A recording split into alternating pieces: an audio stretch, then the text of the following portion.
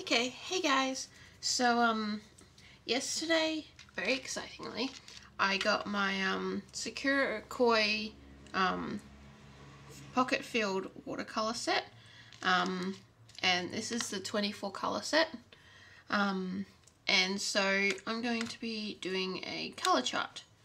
Um so put my palette aside. I'm not going to be using the water brush, not because I don't want to, it's just I've already got a bowl of water here, so I'm just going to be using my normal Faber-Castell brush. So I've got a piece of paper here, and I'll just zoom in a little bit.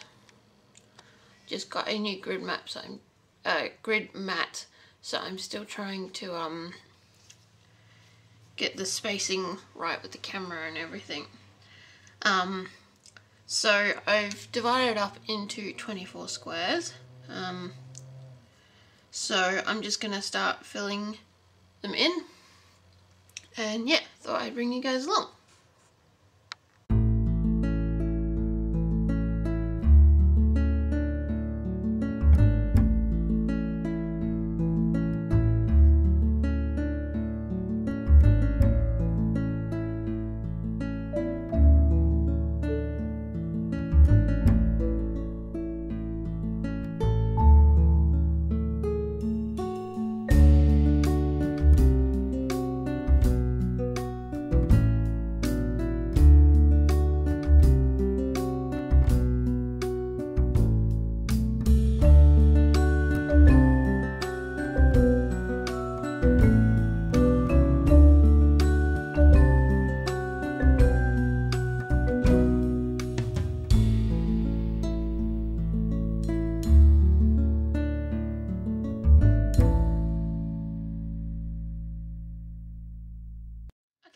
So as you can see, I have finished um, doing the color swatch. I'm just going to zoom out.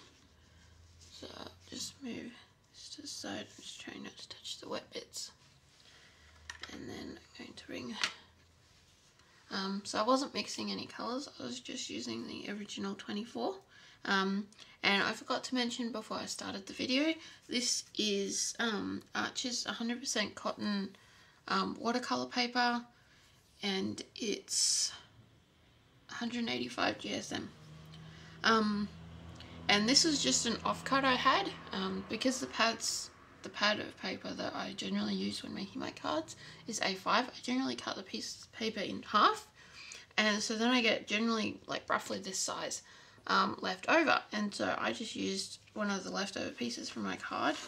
Um, I checked it beforehand, and it just happens to fit nicely in here. Um, so I'm just going to let this piece dry um, completely and then I'll be storing it in here. And this way I have an accurate representation of what the colours look like when they're mixed because as you can tell some of them don't look quite like they do. Like I thought this was a black um, and here in the bottom right it's actually dark brown and this one's the black. And um, yeah like this one looks like a like chocolate brown but it's like this really bright pink so I think it's really good to do um, a colour test when you first get new paints um, or any medium for that matter. Um, so yeah, I hope you guys enjoyed this video um, and I will talk to you guys later. Bye.